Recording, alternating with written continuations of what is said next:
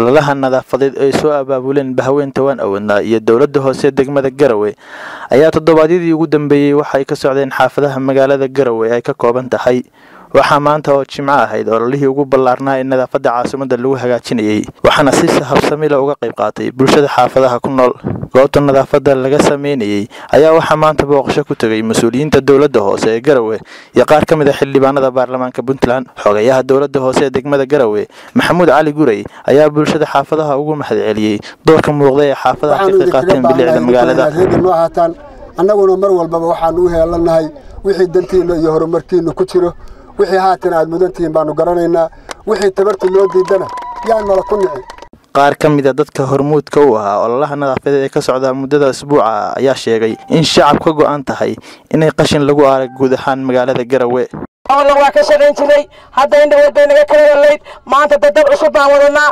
Waa wadaynaa ilaa jimcaha jimcihiisa ka daali mayno ka nasan mayno. Haddii idanka alla nooga dhigo waanu shaqaynaynaa waxaanu isu soo taagnay maanta inaanu ka shaqayno nadaafadda. Waxaanu bilownay ee shaqadii ilaa iyo jimcihii hore waan wadnay. Maasha allah aad iyo aad baan maxay hatay u mahadsantihiin madaxda noo timi. Dadka halkan ugu badan ee shaqaynaya maanta oo shaqada aadka u hayay. Waxay haayeen haween.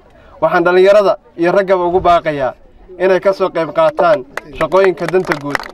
Waxa weeyaan waa ognahay ama waa isgaranaynaa meel baan facebook la fadhinaa ama whatsapp ama qabyaalad ama waxaan loo joogin. Xildhibaan siciid cabdi samatar oo ka mid ah xildhibaanada baarlamaanka puntland ayaa meel fagaareh kula hadlay. Shacabkii ololaha nadaafadeed qayb weyn ka qaadanayay isagoo ku dhiirigeliyey bulshadu in ay iskaa waxu qabsada ku shaqeeyaan. Runtii isbeddel baa muuqda.